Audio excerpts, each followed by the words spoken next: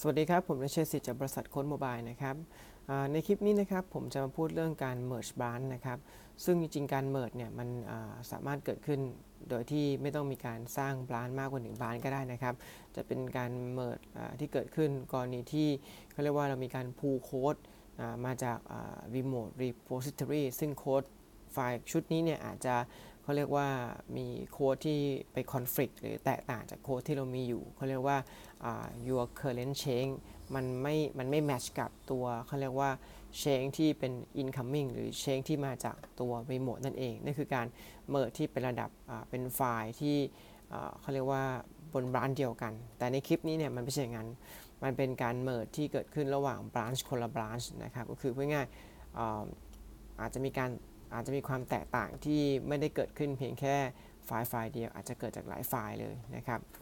คราวนี้วิธีการ merge ระหว่าง branch คนละ branch เนี่ยจะเกิดขึ้นก็ได้ก็ต่อเมื่อเรามี branch มากกว่า 1 ตัวนะครับ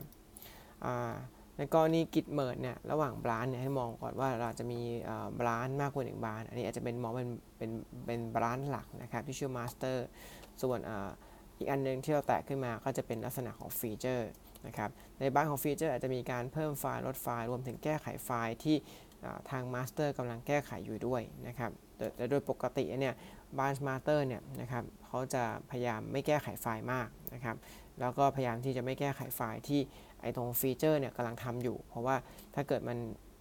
เวลา merge เนี่ยมันจะเกิดสภาวะ conflict เราก็ต้อง manual ทำการตัดสินใจว่าโค้ดชุดไหนในไฟล์ไฟล์นั้นเนี่ยที่จะเลือกเก็บไว้หรือจะเอาของใหม่เข้ามาแทนนะครับ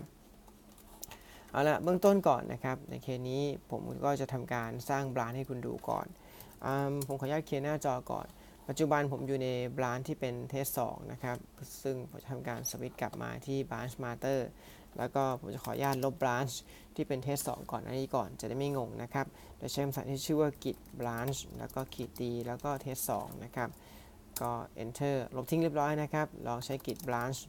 นะครับ เพื่อดูนะครับ ก็จะมีแค่ branch master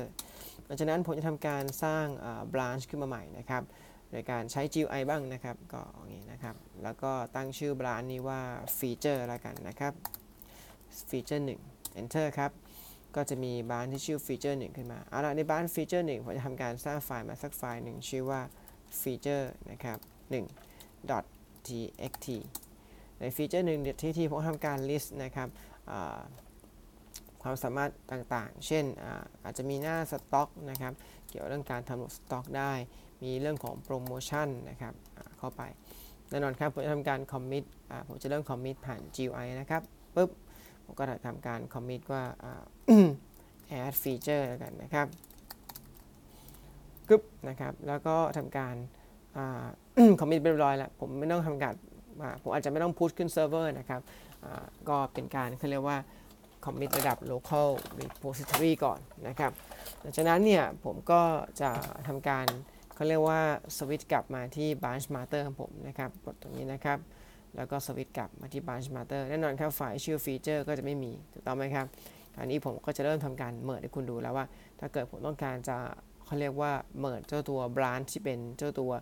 feature เนี่ยเข้ามาใน master เนี่ยผมจะ merge ยังไงถูกไหม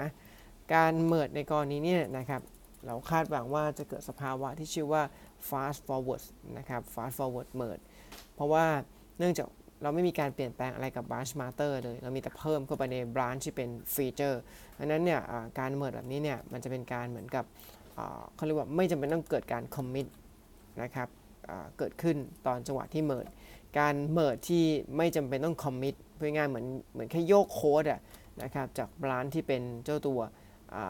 branch ใหม่มาที่ branch master แค่โยกโค้ดมาเนี่ยแบบนี้เขาเรียกว่า fast forward นะครับ ให้ดูรูปก่อนที่ผมจะทำการเหมือให้ดูก่อนแล้วกันนะครับ จะได้ไม่งง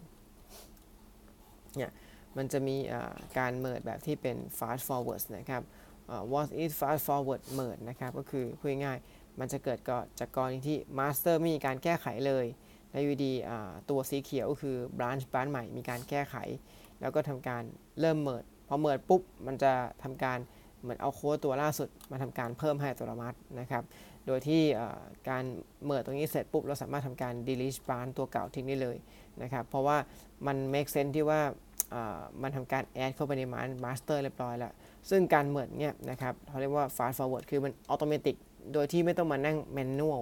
ง่ายๆ fast forward คือไม่ต้อง manual มัน merge ให้เราอัตโนมัติ โอเคไหม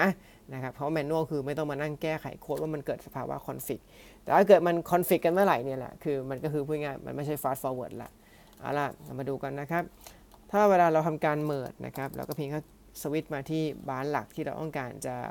จะทำงานก่อน แล้วก็ต้องการ merge กับ branch ไหนก็เพียงว่า git แล้วก็ merge แล้วก็ใส่ชื่อ branch เข้าไปก็คือเช่น feature นะครับเอาล่ะถ้าเกิดมัน merge ได้แบบอัตโนมัติมันจะขึ้นข้อความของว่า fast forward ครับปึ๊บ นะครับ อันนี้ผมพิมพ์ผิดไหม git merge นะครับ ขอดู command นิดนึงนะครับ อาจจะลืมอะไรบางอย่างไปนะครับ git merge branch feature ขอดูก่อนอ๋อ feature หนึ่งนะครับ ผมใส่ขออนุญาตใส่ feature หนึ่งก่อนเอาละปุ๊บนะครับ จะเห็นว่ามันมีข้อความที่ชื่อว่า fast forward เห็นไหม